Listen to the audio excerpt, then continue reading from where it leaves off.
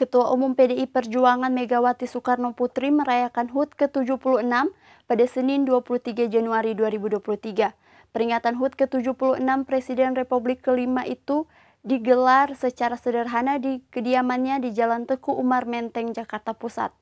Tamu yang datang hanya keluarga, orang-orang dekat, dan sejumlah politisi termasuk dua orang menteri kabinet Presiden Joko Widodo.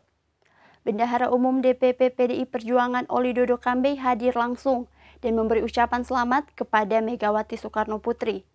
Selain Oli Dodo Kambe, hadir juga dua menteri yakni Menteri Perhubungan Budi Karya Samadi dan Menteri PUPR Basuki Hadi Muljono.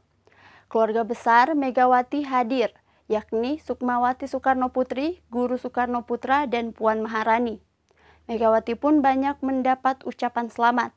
Selain lewat media sosial dari para kader PDIP, jejeran papan ucapan selamat HUT juga memenuhi kediaman.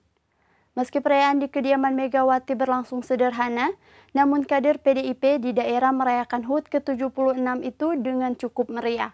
Para kader bahkan membuka dapur umum yang dikhususkan untuk melawan stunting atau gizi buruk terhadap anak-anak.